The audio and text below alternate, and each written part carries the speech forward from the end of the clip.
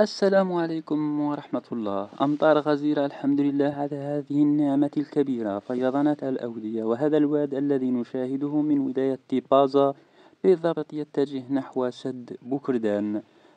طبعا سد بوكردان غير معروف النسبة الحالية التي ارتفع بها لكن المياه ما زالت تتوافد إليه وسنعرف النسبة لاحقا. الحمد لله فيضانات الأودية كذلك بالنسبة لسد شحاف في ولاية بجاية.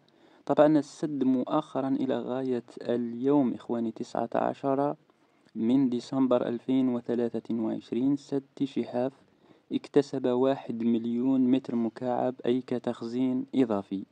سد شحاف وصله مليون متر مكعب من المياه إلى غاية اليوم تسعة عشر ديسمبر 2023 سد زرداز الذي شهد امتلاء كلي في 25 نوفمبر وكذلك سد إغزر أوفتيس في بجاية امتلاء كلي أيضا.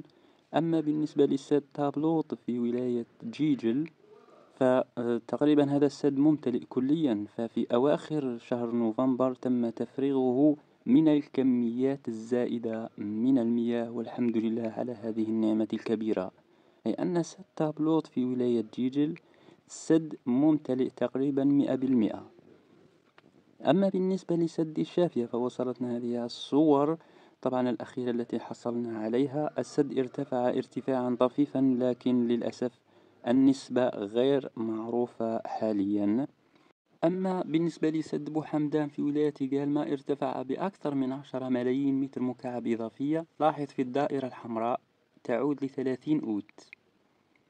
أما هنا خمسة وعشرين نوفمبر شهد تقريبا يعني آه، تكاد تغمر بالمياه الحمد لله على هذه النعمة العظيمة. يعني اختلاف كبير بين آه، يعني الأشهر الماضية وخلال هذا الشهر.